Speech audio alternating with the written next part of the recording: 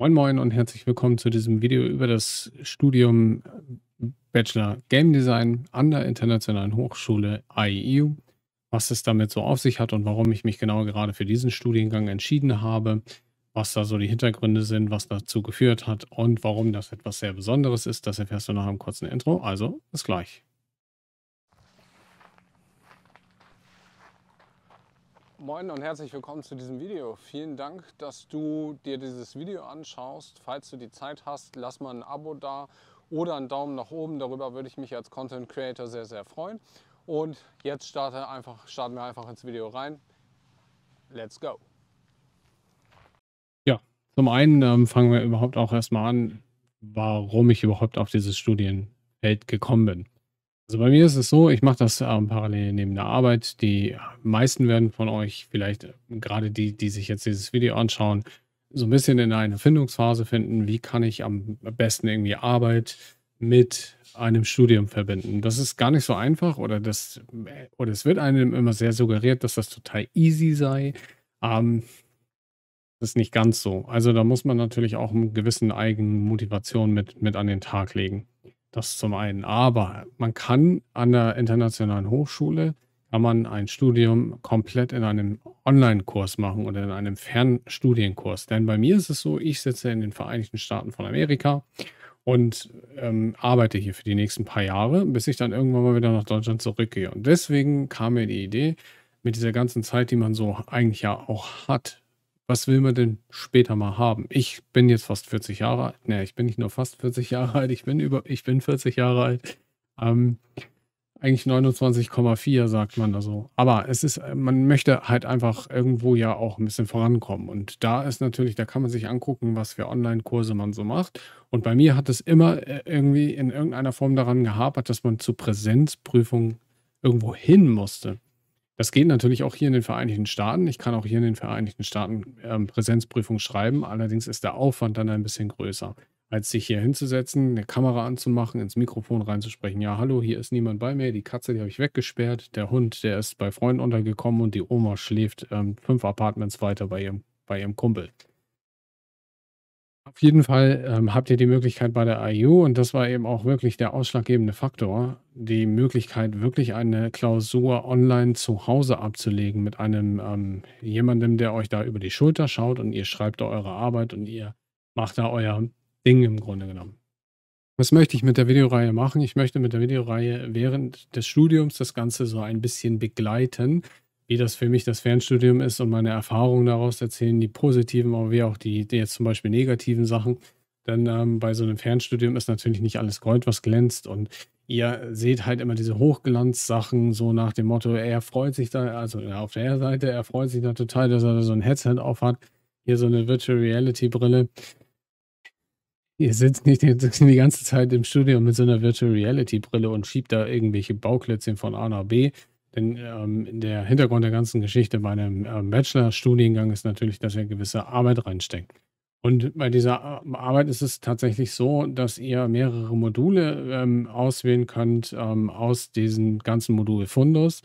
Ähm, und ihr müsst pro Semester immer sechs bearbeiten. Wenn ihr ein Teilzeitmodell nimmt, ist das im, also sechs Module sind das Vollzeitmodell, wie man das so kennt von der Universität her. Ähm, da die paar sechs ähm, Semester abreißen, dann hat man halt seine drei Jahre voll, seine 180 Credit Points.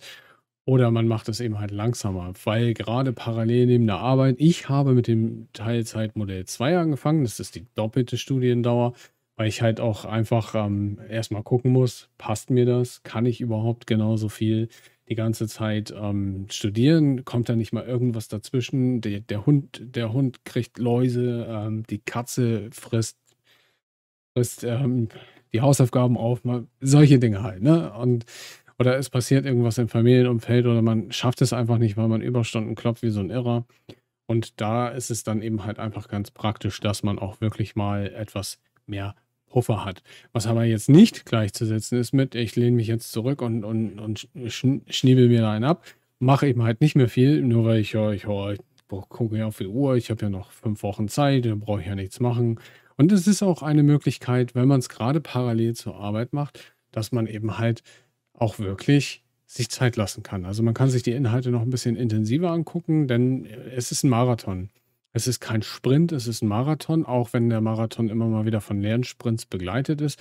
Und da bietet die internationale Hochschule halt einfach ein sehr, sehr, sehr, sehr, sehr, sehr gutes Umfeld, ähm, auch ähm, wie die Module und so weiter aufgebaut sind. Da gehe ich auch noch ein bisschen drauf ein, erzähle da ein bisschen was zu. Ähm, bei mir, ich habe angefangen mit dem, mit dem Modul Einführung in Game Design. Da wird viel erklärt über, was sind Games, ähm, wie kommen, äh, ja, wa warum gibt es Spiele, was ist der Sinn von Spielen, ähm, welche Mechaniken stehen dahinter, was sind Mechaniken, welche psychologischen Modelle stehen da, stehen da mit drin, wie ähm, kann ich einen Spieler motivieren, kann ich ihn überfordern, kann ich ihn unterfordern, was sind technologische, ähm, politische äh, Sachen, wie, wie hat das Auswirkungen auf Spieler? Also es ist halt wirklich sehr, sehr, sehr riesen. Es, die Liste, die wird immer größer und ähm, da muss man natürlich auch sehr, sehr viel lernen. Einführung Game Design zum Beispiel hat auch eine Klausur, die ich schreiben muss aus einem Skript von 192 Seiten mit sehr viel Inhalten drin, ein paar Bilderchen natürlich auch, weil es muss ja auch ein bisschen schmackhaft gemacht werden,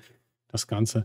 Im Großen und Ganzen aber, es ist Arbeit. Ähm, und das ist immer so, denn man kriegt fünf Credit Points pro Modul, was man da so was man da so ähm, gemacht hat. Äh, man kann sich verschiedene Kurse buchen. Ich kann euch das hier jetzt auch nochmal zeigen. Ist ein bisschen on the fly aufgenommen, das Ganze. Und ähm, ich kann mir drei pro Semester aussuchen, Teilzeit Modell 2. Werde ich auch noch mal ein bisschen was zu erzählen in den kommenden Videos. Ähm, da gibt es halt einfach noch mal das eine oder andere, was man da noch machen kann. Am ersten Semester fängt halt an mit Gestaltung, interaktive Medien, ein bisschen Storytelling, allgemeine Psychologie, Einführung in Game Design, Game Studies, Einführung in das wissenschaftliche Arbeiten, weil das ist natürlich nicht nur zum, zum Rumdüdeln und natürlich geht es auch um Spiele. Ähm, das ist auch etwas, ähm, wenn ich mir jetzt überlegen würde, ich hätte Mathematik genommen als Studiengang, ja, dann würde ich den ganzen Abend nur zu Hause über irgendwelchen Mathe-Sachen ähm, brüten, Rätsel lösen. Mathe-Rätsel lösen und hätte keinen, mit dem ich darüber reden könnte, ja. Und das ist dann etwas, was halt einfach unglaublich schwierig wäre. So Game, Game Studies, da kann man, jeder kennt das von seinen Kumpels her, die spielen alle Computerspiele. Das ist ja heutzutage etwas ganz Normales und im Großen und Ganzen ist es so, dass jeder kennt es. Und man hat da einfach ein paar Punkte, wo man anknüpfen kann, wo man dann eben halt mit den Leuten auch drüber sprechen kann. Und einfach, das, das ist einfach ultra interessant, das Ganze sich eben halt dann zu Gemüte zu, geführen, zu führen und sich da ein bisschen rein zu vertiefen. Ähm, ich persönlich finde das halt einfach mega gut. ähm, und es gibt eben halt einfach die Möglichkeit, das alles online zu machen. Das ist so einer der ausschlaggebenden Gründe. Die Frage ist ja auch, was will man denn mit seiner Zeit machen? Ich habe das eine oder andere Mal gespielt. Ich habe sehr lange YouTube gemacht. Ich habe ähm, Tutorial-Videos erstellt. Ich habe ähm, das eine oder andere gespielt. Immer so ein bisschen davon getrieben, was könnte denn irgendwen interessieren. Aber am Ende des Tages bin ich dann persönlich so ein bisschen auf der Strecke geblieben. Und das war dann so der, der Punkt, wo ich mir gedacht habe, ähm, irgendwann kommt auch mal die Zeit, was passiert denn, wenn? Und ähm, Bachelor ist eigentlich auch ein Ziel von mir. Und deswegen bin ich, bin ich da ähm, reingestolpert in die ganze Geschichte. Also es ist wirklich sehr, sehr weitreichendes Studienfeld. Man denkt es gar nicht so. Man kann auch grob, wie gesagt, äh, sagen, ähm, pro 5 Credit Points ist man, also pro Punkt äh, arbeitet man 30 Stunden an, äh, daran, hat dann am Ende 150 Stunden pro Modul, die man da ungefähr investieren muss. Das kann natürlich bei dem einen mehr sein, das kann bei dem anderen weniger sein. Das hängt halt immer davon ab, was der, so die eigenen Erfahrungen sind. Ähm, und was ich halt richtig gut fand, ist, dass es online machbar ist. Es ist alles online machbar. Jetzt gerade, wo ich hier in den Staaten bin, da bin ich natürlich weit ab. Da kann ich nicht mal eben schnell nach Hamburg fliegen, mich in Hamburg an die Uni setzen und dann eine Präsenzprüfung ablegen. Und das ist halt auch bei ganz vielen Studienanbietern der Fall, dass man eben halt mindestens mal einmal im Jahr oder einmal im halben Jahr dort vor Ort sein muss. Und selbst wenn das nur für eine Woche ist, um eben halt das eine oder andere durchzusprechen. Zusätzlich habe ich mir hier für das ähm, Studium Game Design auch einen Discord-Server rausgesucht, ähm, der sich tatsächlich dann eben halt auch mit dem ähm, Game Design-Studium Oh, nicht wechseln. Gehen wir da mal raus. Ich zeige euch das einfach mal. Ähm, dann seht ihr das auch. Es gibt hier einen riesengroßen ähm, Discord-Server. wo hier halt tausend Sachen stehen und auch die einzelnen Semester alle abgelegt sind, ähm, mit den einzelnen mit den einzelnen Feldern, was man alles so machen kann, um eben halt auch mit den Menschen in Kontakt zu kommen. Und das ist halt etwas, was ich heutzutage auch richtig klasse finde. Ähm, viel Arbeit, ja. Ähm, man muss was tun dafür, definitiv, auch wenn der eine oder andere vielleicht einfach eine falsche oder eine romantisierte Vorstellung von Game Design hat oder generell vom Studiengang.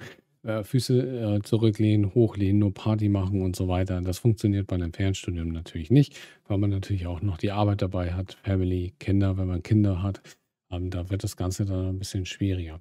Ähm, die drei, es gibt drei Varianten, das Ganze zu machen bei der Internationalen Hochschule. Entweder Vollzeit, Teilzeit 1 oder Teilzeit 2. Vollzeit ist halt sechs Module pro Semester, drei Jahre, dann ist man da fertig. Ähm, man braucht vier Jahre, wenn man das in Teilzeit 1 macht und sechs Jahre in Teilzeit 2. Man hat aber auch jederzeit die Möglichkeit, das dann einmal umzubasteln, um da eben halt auch wirklich zu sagen, hey, ich bin jetzt schneller durch, ich habe in die nächsten zwei, drei Monate, weiß ich genau, da kann ich noch ein bisschen ordentlich reinbuttern, dann kann man das einmal umstellen lassen. Da gibt es natürlich auch so ganz genaue Regeln, wie das dann funktioniert. Und man hat ein Jahr ähm, am Ende des Studiums oder wenn man zum Ende hinkommt, zum Ende seiner Zeit, äh, je nachdem, welches ähm, Zeitmodell man da gewählt hat, hat man nochmal zwölf Monate, wo man eben halt kostenfrei das Ganze ähm, dann noch ein bisschen strecken kann. In der Regel kann es auch durchaus vorkommen, wenn man jetzt wirklich in Vollzeit unterwegs ist und die Katze verstirbt und man keinen Bock hat zu lernen. Das ist ein super saloppes Beispiel jetzt. Und dann kann man natürlich halt einfach auch mal zwei Monate Abstand nehmen oder man schafft halt einfach ein bisschen weniger und man kann das dann hinten ranhängen. Was natürlich jetzt nicht bedeutet, dass man total der Prokrastinat ähm, werden sollte. Also nur prokrastinieren. Ähm, prokrastinieren. Ich glaube so. Ähm, auf jeden Fall ist es äh, ziemlich, das ist ja, sollte man natürlich vermeiden. Ähm, werde das ähm, hin und wieder auch mal so posten zwischendurch, wie es mir da mit dem Fernstudium geht, wie gut ich vorankomme. Ich habe jetzt, wie gesagt, zwei Wochen bin ich jetzt schon dabei. Ich habe mein Abitur schon via Fernstudium gemacht bei der Studiengemeinschaft Darmstadt. Ähm, Daher weiß ich auch ungefähr, was da so auf mich zukommt und wie man lernen muss. Natürlich ist Abitur und Studium, das kann man nicht immer so vergleichen. Das sind schon Unterschiede. Das eine ist halt etwas spezieller und geht halt sehr in die Tiefe. Und man muss eben halt auch gucken, dass man sich dann da mit diesen Studieninhalten auch beschäftigen kann und dass einem das auch liegt. Das kommt natürlich auch noch ein bisschen mit dazu. Nichtsdestotrotz ähm, ist auf jeden Fall immer mal eine gute Idee, sowas halt ähm, zu starten, ja, wenn man auch das passende Kleingeld dafür hat. Es ist leider nicht ganz günstig. Je nachdem, welches Modell man wählt, ob man nun in drei Jahren durch sein möchte, also je schneller man ist, desto weniger kostet das Ganze. Wenn man jetzt sagt, so wie ich, Teilzeit 2, die Kosten sind unterschiedlich, aber dann liegt man so bei knapp 17.000 Euro, weil man eben halt monatlich da seine 200 und ein paar zerhackte, plus dann noch ein paar kleine Gebühren für die Bachelorarbeit. Später, wenn man dann die Bachelorarbeit machen möchte, wenn man die einmal einreicht, dann muss man da knapp 700 Euro auf den Tisch legen. Aber man kriegt dafür eben halt auch seinen, seinen Bachelor. Im Vergleich oder im internationalen Vergleich ist das sogar noch sehr günstig. Denn Studieren hier in Amerika, beispielsweise, ich bin jetzt gerade hier in Florida, kostet knapp 60.000 Dollar für ein Jahr ungefähr. Und dabei sind noch nicht mal Unterkunftskosten mit eingerechnet oder irgendwelche Bücher, die man sich hier kaufen muss. Es gibt bei der IU gibt es eine riesengroße Bücherei. Man kriegt auch ähm, Sachen wie das Office-Paket mit, mit dazu. Man kriegt eine IU-E-Mail-Adresse, man kriegt einen Studentenausweis, eine Immatrikulationsbescheinigung, womit man natürlich auch das eine oder andere ja, günstiger kriegen kann. Auch hier in den, in den Staaten ist es international gültig. Es gibt auch eine englische Variante davon. Man kann das Studium auch in Englisch machen, das funktioniert auch. Ähm, es ist einfach eine super gute Möglichkeit. Und ja, ich würde mich freuen, wenn du Bock hast, mich da so ein bisschen mit zu begleiten. Durch die Höhen und durch die Tiefen. Höhen und Tiefen wird es geben in so einem Fernstudium. Also lass dir gut gehen. Wir sehen uns in einem der nächsten Videos. Ich denke mal immer so Mittwochs ist ein guter, guter Update-Zeitpunkt. Also bis dahin lass es dir gut gehen. Wir sehen uns. Erstmal. Achso, wenn einer fragt, bei euch kommt es Donnerstag raus, bei mir ist es Mittwoch. So. Zeitverschiebung vor der Wind. Wir sehen uns. Erstmal. Danke dir, dass du mein Video angeschaut hast bis zum Ende. Falls du noch ein weiteres Video gucken möchtest, du findest eins auf dieser Seite und die ganze Playlist findest du auf der anderen Seite. Falls du es noch nicht getan hast, einfach mal einen Daumen nach oben geben oder aber den Kanal abonnieren, dann verpasst du auch keine Videos mehr von der Vesarius Gamerstube. Vielen Dank dafür. Bis zum nächsten Video.